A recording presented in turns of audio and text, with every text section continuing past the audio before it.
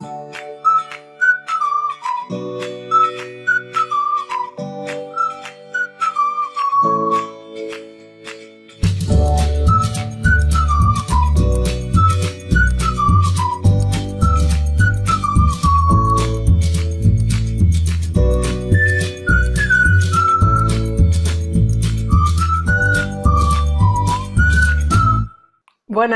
¿Qué tal? Soy Mónica de Dog Coaching, del Instituto Dog Coaching y de la Academia Dog Coaching. Recuerda que hace muy poquito hemos abierto la academia donde hay una variedad de cursos online para poder conocer verdaderamente a tu perro, para poder conocer las necesidades reales que tiene tu perro y para poder así mejorar la comunicación que tienes con él, la convivencia que tienes con él y poder entenderlo, porque muchas veces queremos ir demasiado rápido a la práctica sin entender realmente qué necesita nuestro perro, por qué se comporta de esta manera y cómo podemos eh, trabajar con él. No queramos correr tanto, vamos a coger la base primero y luego trabajemos con él. Que sepas que aquí abajo tienes el enlace en la academia que de momento a día de hoy, a fecha de hoy, está, sigue en prelanzamiento con el 50% de descuento, pero va que queda muy poquito para que esta, eh, esta etapa se termine. Bueno, Hoy vamos a hablar de un tema que también me habéis pedido mucho porque preocupa bastante. No es un tema, te voy a decir, muy frecuente, pero cuando te toca, mm, bueno, pues preocupa, preocupa bastante. Y evidentemente vamos a hablar de eh, la depresión en los perros. Me dirás, ¿los perros se pueden deprimir? Sí, los perros se pueden deprimir perfectamente. Antiguamente, eh, bueno, se veía el perro más como una máquina de trabajo, eh, un poco carente de emociones, carece de sentimientos y tal, eh, pero hoy día sabemos, hoy día y hace ya tiempo que sabemos que el perro es capaz de sentir tristeza, alegría, miedo, dolor, etc. Por lo tanto, hay situaciones en las que nuestro perro puede generar o puede provocar en el perro una tristeza muy profunda en el que si es momentánea, si es muy puntual, pues no pasa absolutamente nada, pero que si se alarga en el tiempo puede derivar en depresión. Ah, para hablar de la depresión, así muy resumido, porque también te pondré el enlace del artículo donde te lo explico más detalladamente, hay una, serie de causas que pueden provocar eh, la depresión en el perro, pero también hay una serie, evidentemente, de síntomas que tenemos que tener muy en cuenta. Las causas. ¿Qué puede provocar que nuestro perro eh, pueda caer en una depresión. Lo primero que tenemos que tener en cuenta, y siempre lo digo cuando hay un cambio repentino en el comportamiento del perro, es descartar problemas de salud, problemas, algún problema, alguna enfermedad que pueda provocar un cambio en el comportamiento de tu perro, un cambio en el sistema anímico de tu perro. Entonces, yo creo que te diría que es lo primero que tenemos que ver y lo primero que tenemos que descartar.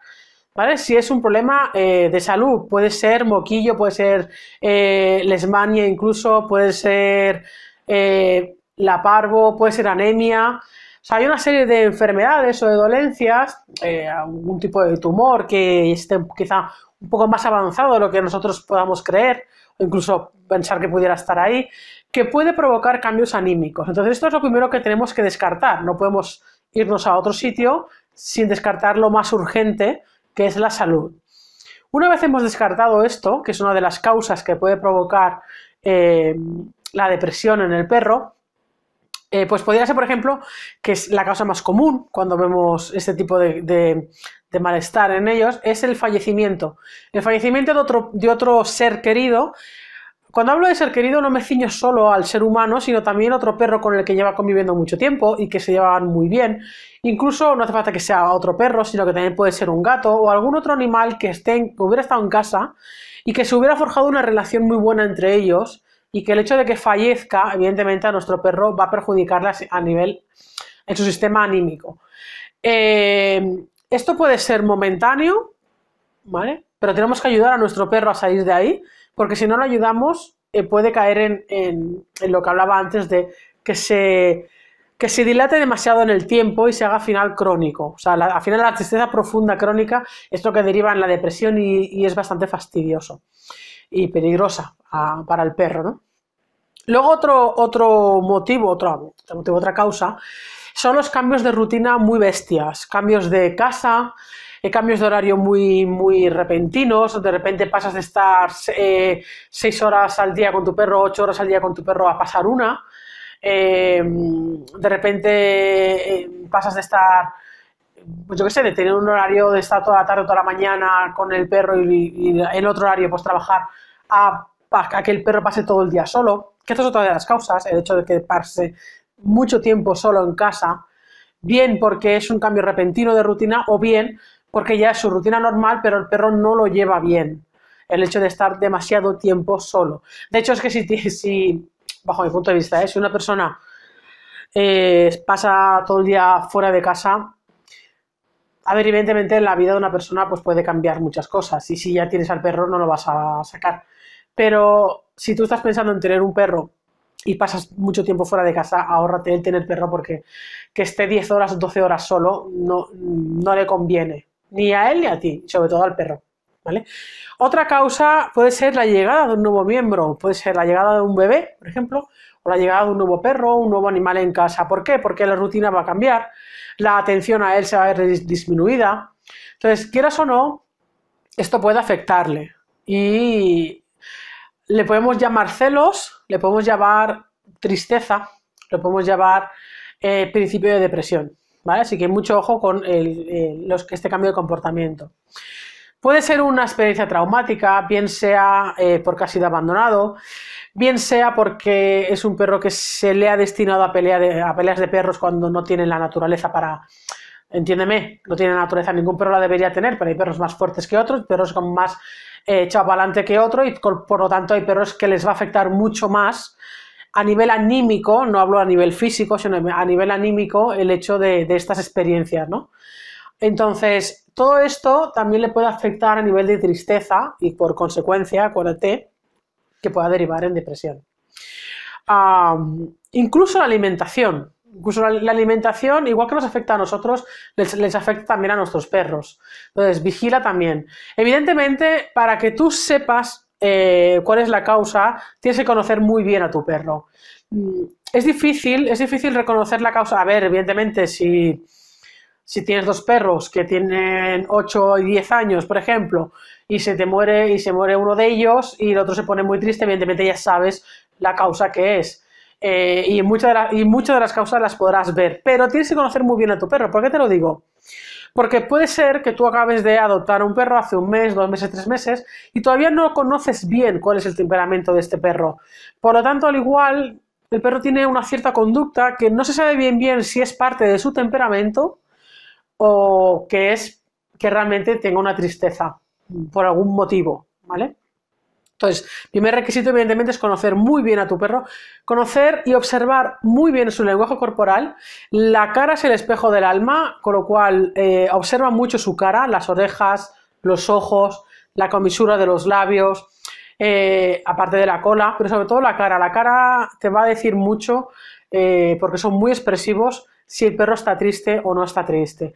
¿Qué síntomas, para no alargar mucho el vídeo, qué síntomas puedes notar Em, en un perro que está iniciando, que está eh, teniendo una tristeza así no habitual o no, que no forme parte de su temperamento. Pues es la apatía, es que evidentemente le faltan ganas de comer, o come menos o deja de comer directamente. Ojo que aquí tenemos que intentar eliminar el tema de la alimentación, ¿vale? Que no se nos vaya ahora la olla y que porque nuestro perro no come un día significa que nos está deprimiendo. Vamos a ser un poquito coherentes en ese sentido y vamos a ponerlo todo en su, en su contexto. Eh, se esconde, se esconde porque no quiere interactuar con, ninguno, con ninguno de la familia, no tiene ganas de jugar, eh, duerme mucho más de lo que debería, de lo que normal, no, no de lo que debería dormir, sino de lo que normalmente duerme. Un perro tiene que dormir muchas horas para que esté realmente equilibrado. Em, por lo tanto, si tú ves que, tu perro tiene unas rutinas de horarios y tiene unas X horas de sueño y ves que va pasando los días y cada vez tiene más y le cuesta más levantarse y cuando se levanta va con desgana y todo esto, pues tenemos que estar muy, muy al loro. ¿vale? Em, una actitud triste, ves que va cabizbajo. Pues estos son algunas de las, algunos de los síntomas que puedes ver en tu perro. Eh, como digo, tienes que contextualizarlo mucho, ¿eh? porque estos síntomas por separado pueden confundir bastante y pensarnos y, y, hacernos pensar que nuestro perro está deprimido, cual igual es algo momentáneo porque, un, que porque hoy se siente mal, eh, mejor le duele la barriga o de lo que sea, o le, yo que sé, mil cosas, ¿vale? Y se encuentra mal, simplemente se encuentra mal y está cabizbajo. Eso es que no te haga pensar, por favor, que es que tu perro le está deprimiendo, porque eso va mucho más allá, ¿vale? El vale todavía no me lo he terminado de quitar por ahí. ¿Qué podemos hacer? Como digo, observar mucho, a nuestro perro para saber identificar la causa. Evidentemente, cosas que las tenemos muy a nuestra mano, como es. Eh, unas las tenemos muy a, mano y otras tenemos que tener un poco de paciencia y comprensión a la vez de ayudarle un poquito a pasar este bache. ¿vale? Las que tenemos en nuestra mano, ¿cuáles son? Pues por ejemplo, el tema de la alimentación. Vamos a cambiarle la alimentación. intenta irte quizá a lo más sano posible. Si ves que tu perro pues no come mucho, y, o come a desgana y tal, pues intenta cambiarle la alimentación a algo un poquito mejor.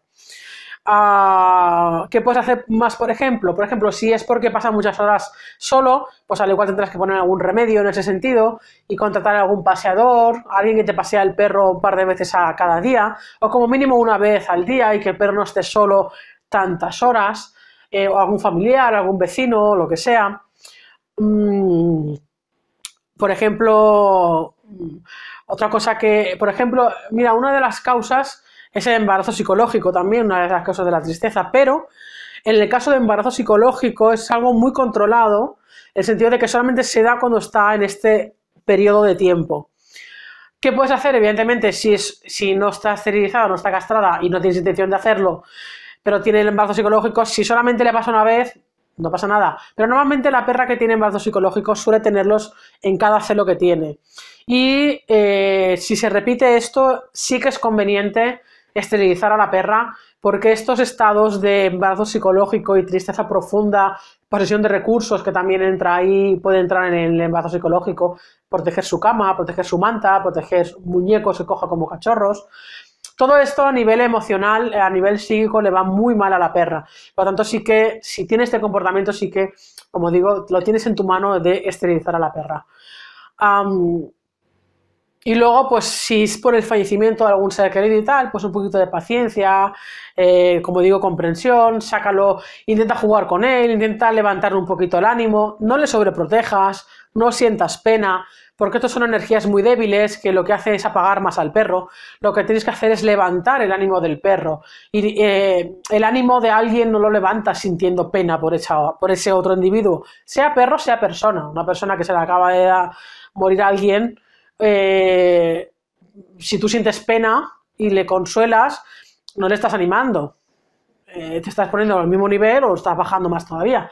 Entonces, si la intención es subirlo, tienes que un poco liberar el tema y hacer como que no ha pasado nada, evidentemente siempre respetando un poco los tiempos, que tiene que haber un tiempo de duelo, por eso hay que respetar mucho ese tiempo en el perro, pero a la vez irlo sacando de ahí poco a poco, que siga jugando con otros perros, sin forzar, no fuerces nunca a un perro que está triste, incítalo, o sea, llévalo, expon las situaciones en las que él tenga que animarse, pero no lo fuerces, nunca fuerces a un perro, ¿vale? En ese sentido. Y más o menos así el resumen vendría a ser este. El artículo lo completo, eh, el artículo completo, el artículo completo lo tienes aquí abajo en el, en el, en el resumen del vídeo, en, en, el texto. Uh, un vistazo, lo tienes así un poquito más estructurado, porque yo me enrollo como una persiana.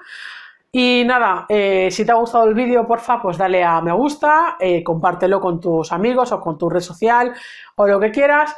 Suscríbete, suscríbete que por aquí sale mi cabecita por algún lado eh, para que te llegue el aviso de cuando subo un vídeo nuevo. Y sobre todo, aprovecha y apúntate a la ¿vale? Que ya queda poquito, queda poquito para este tiempo de prelanzamiento. Y nada más, eh, sabes que te puedes también apuntar a la comunidad, que es gratuito, eh, y así podrás entrar en el grupo privado de Facebook, donde hacemos eh, directos para poder resolver un poco las dudas que tienes con tu perro.